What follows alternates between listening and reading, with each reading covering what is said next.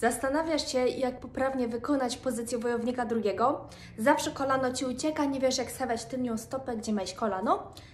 Jeżeli tak, to zapraszam Cię na małą instrukcję.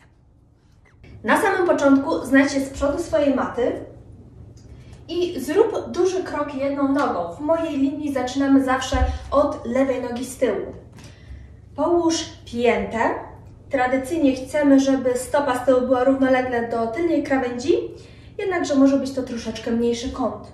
Ugnij kolano z przodu tak, żeby się znajdowało w jednej linii z kostką i następnie wydłuż ręce do przodu i do tyłu, starając się opuścić kości guziczne, a wydłużyć kręgosłup w górę. Jeżeli natomiast kolano z przodu ucieka Tobie do środka, tak jak to teraz pokazuję, czujesz, że nie możesz ugiąć kolana, bo wszystko Tobie drży, co wtedy można zrobić? Przenieś po pierwsze stopę delikatnie na zewnątrz, tak żeby pięty nie były w jednej linii.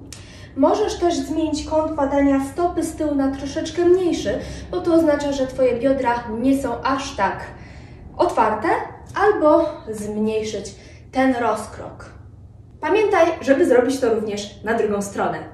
To by było dzisiaj na tyle. Żegnam Was i do zobaczenia za tydzień.